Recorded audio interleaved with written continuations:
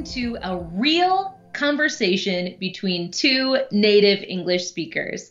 I'm Liz Waid, and this is Adam Navis. Hi, Adam. Hello. And we are here to discuss, um, well, a spotlight program, this week's program, and it is about a subject uh, that I really enjoy, um, sort of as a whole, and that is television. Ah, I am sure you knew that about me, Adam. yeah. But this week's program is about a specific kind of television called slow TV. And so Is uh, that like streaming TV, but when your internet is slow? No. Oh. That is not that is not it. It is not a an interrupted signal TV. Okay. It is purposefully slow television. But we'll get to that. um, if you have not heard this program or seen this program on YouTube, maybe just pause this video, go over there, listen to it. You can visit our website at www.spotlightenglish.com where you can follow along with the words and listen to the program or you can watch it on YouTube or listen to it as a podcast um, in those different places.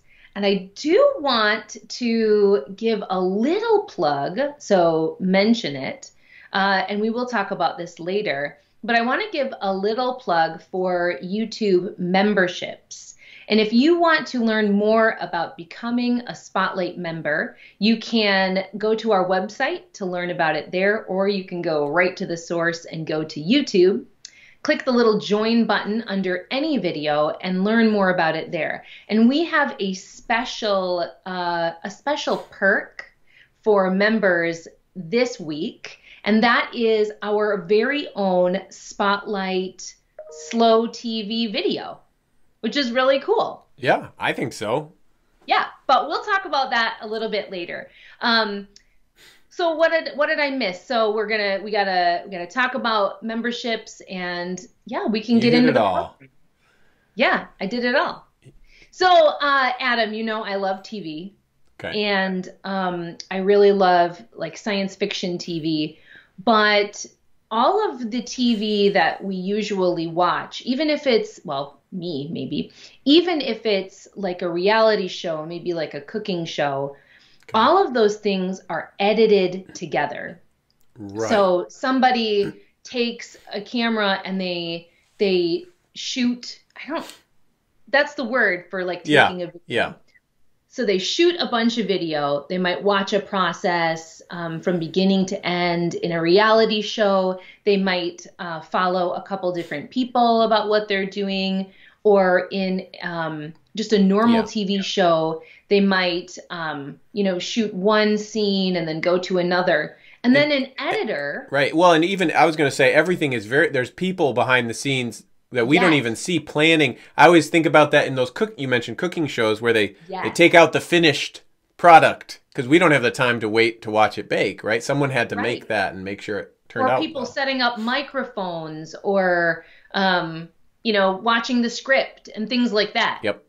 Um, and then, so once all of that footage comes together, it goes to an editor, and that person takes out all the boring parts. They might, if they're making a um, a TV show, they might look at the script and Yep. see what needs to be cut out or what the you know actors said, and and put all that in order. Um, or if you're watching a reality show, like a reality cooking show, they might cut out the parts where you know you're waiting for something to come out of the oven, or um, maybe maybe make it seem like there's an argument between two people, depending on how it's edited. right.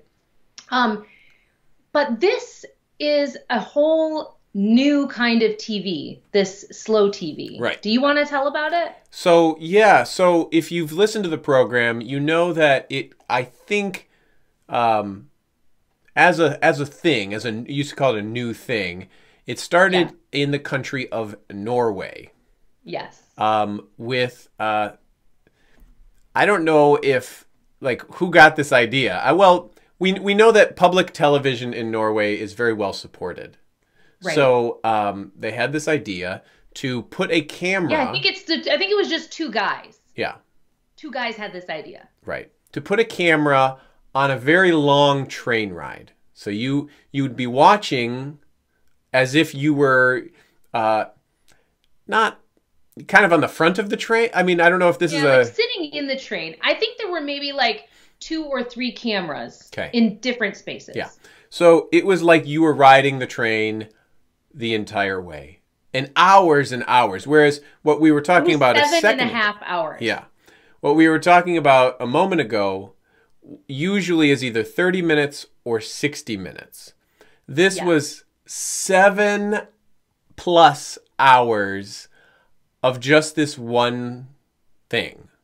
No uh, editing, no, there were no drama, no, uh, you know, Yeah. like dramatic music to keep you engaged, no, Yeah, just the sounds. just the sounds of what. Although um, there were some times that the train went into a tunnel and then it would just be black, right? So they, um, the TV station in Norway that made this program, they had some, I think, historical footage Okay. that they would just put in like a little, you know, picture in picture. Um, So you had so something to watch. not Yeah. just be staring at a black screen. Well, what was exciting about when I was when I was reading this and learning about it was that it's a uh, counterintuitive, which is a big fancy word that just means uh, it goes against what you would first think. So everybody would say, "Go faster," you know, like you know, TikTok is very popular, so it's like Yeah. short and fast. But this is Yeah. long and slow. This is like the anti TikTok. The anti that's what we should call it. Yeah. Anti Yeah. that's that's gonna be on our uh, video description. Liz and Adam discuss anti TikTok. yeah, exactly. Um it is though. but people loved it. People tuned Yeah. in and they just started to watch it. And um yeah, and then it, And then it- they made more. then they made more. Why don't you tell about the the next one they decided to do? Well, I think there were I there okay, so the one that we talk about in the program Right. is a boat ride. The boat ride. And um, I'm not sure if it was like the second one they did or if it was just um, like another one they did. Yeah. But this one was five and a half days. Five and a half days. Just constantly on the um, on the TV. And I actually um, we put a link to that video in the program of on our website. So if you want to check out, if you have five and a half days that you want to um, watch every minute of that boat ride, there is a link on our website. You can do that. Um, but yeah, they and it was so popular that I think at one point half of Norway was watching. It was the Yeah. most watched show in Norway ever. Well, well, that leads me to two questions. First, why do you think it was popular? And second, do you think, Liz, you would enjoy watching slow TV? That okay, so yeah, those are two different questions, right? Um I I don't know because I feel like there's a lot. Well, I'll tackle the first one. So why would people watch this show? Um I think that lots of people like to have something on in the background.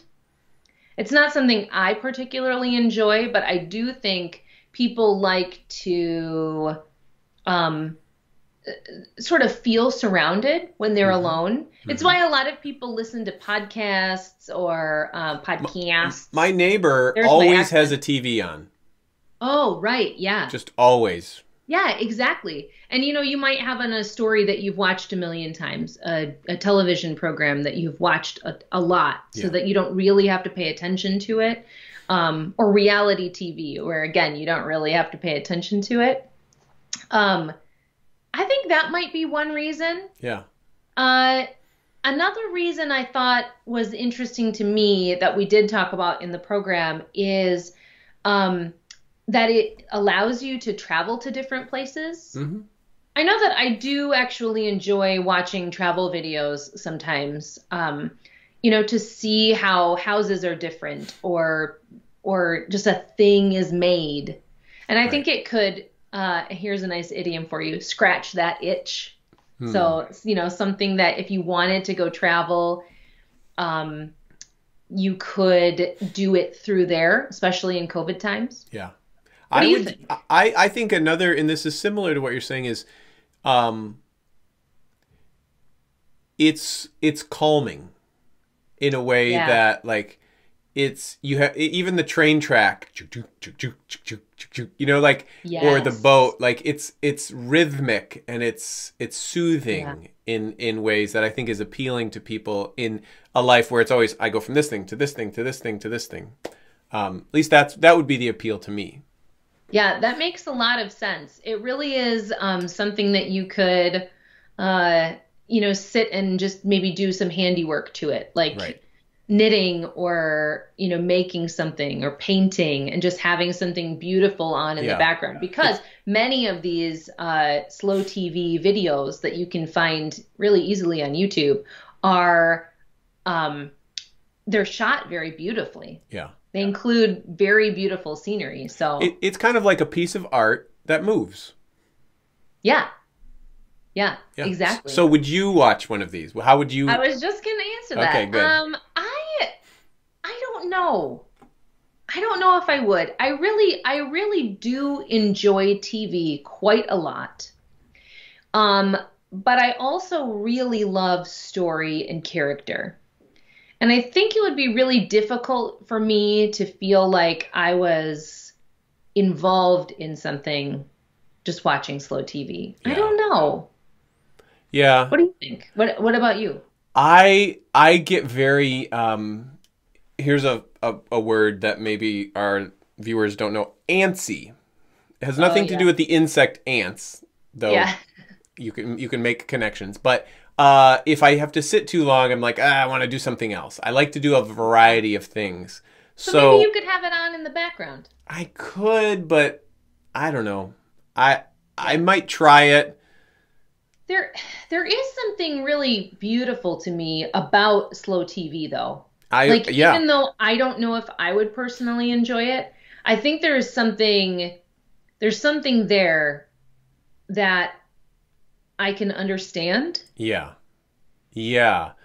Um yeah, well, let's talk. I mean, I made this slow TV we Yes, video and let me so let me tell you uh you can check it out.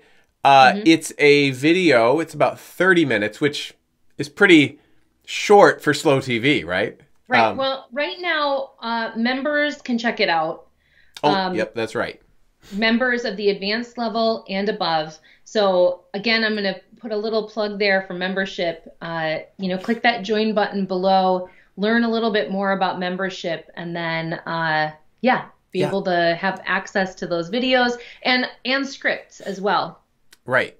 So, uh, so let me. Even if you you haven't done that, it was very interesting. So I took a camera. I have a little uh, forest woods area near my house, and I walked my dog.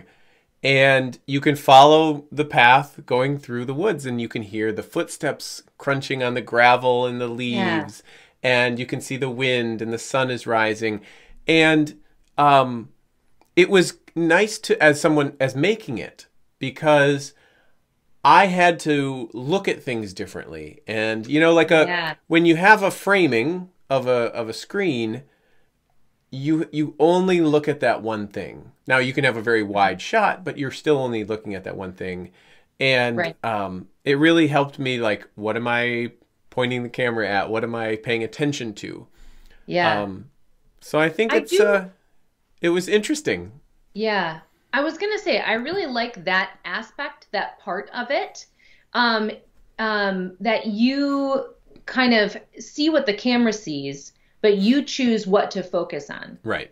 So, you know, when somebody has a camera in a in a program, like in in a typical TV show where you're, you know, either a um, reality show Yeah. or scripted television, they're showing you what you should look at for the story. That's true. Sometimes they come in very close to just you only see a person's face. Right, exactly. But if you are, and especially um, in this video that was produced by the Norway television, uh, public television, Right.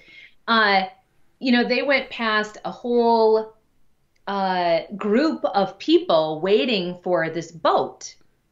on this five and a half day trip. Right. And you they don't zoom in on people. They just show everyone. So Yeah. what are you going to look at on that? Or when the boat goes back on the water, what side of the of the boat are you going to concentrate on where the camera is? I think that's uh that is kind of appealing because I am a bit of a people watcher. Oh, sure. So People are to be able fascinating. to see yeah. Well, I think if if you're watching this and um, let us know if you think you would like to either make slow TV, what would you what would you make a video Yeah. of, and, or would you watch it? You know, go check out the videos. There's lots on YouTube. You can let us know if you have a I was gonna say, if people make slow TV, they should know that they can make slow TV about anything. Anything. It's about any sort of subject that you are maybe doing or or making or anything like Anything. that. So yeah, that's really interesting. Um, yeah, so if you want to check out any of these programs, we have a we have a classic version, a no music version, and an advanced version. You can watch any of those depending on uh, what sort of challenge you want. And uh, you can find it on our website, www.spotlightenglish.com. You can find us on Instagram, Twitter, Facebook, and on YouTube, and anywhere that you find your podcasts. I do want to say if you would like uh, scripts delivered uh, once a week on Monday, every Monday, we have a very low cost option for you to get the script PDF every week. It is about a dollar a week, and you can check out how to get that on our website where it says a little button says scripts by email, and we would love to see you there. Uh, yeah, thank you for joining us in this conversation. Give this video a like if you can, uh, subscribe, that really helps us out, and tell other people about Spotlight. Answer the questions below in the comments. That's a great way to practice your English. And until next time, listen, watch, practice, learn. Spotlight out.